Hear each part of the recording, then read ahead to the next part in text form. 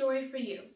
Many years ago, at the University of Wisconsin, there were a group of men who could write amazing literary works.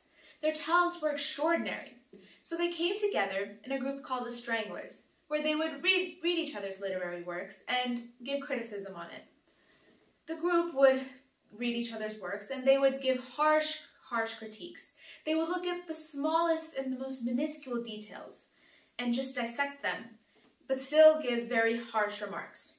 The women at the same university also wanted to be equal, so they came together in a group called the Wranglers.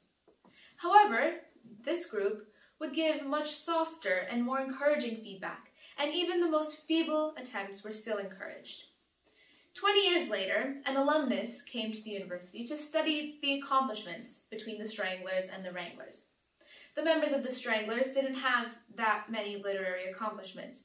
However, the members of the Wranglers had so many different literary accomplishments. The moral of this story is that a more supportive and encouraging environment is more conducive to success than a harsher and a more negative one. Make sure to check out the Charismafy app so you can radiate magnetic charisma.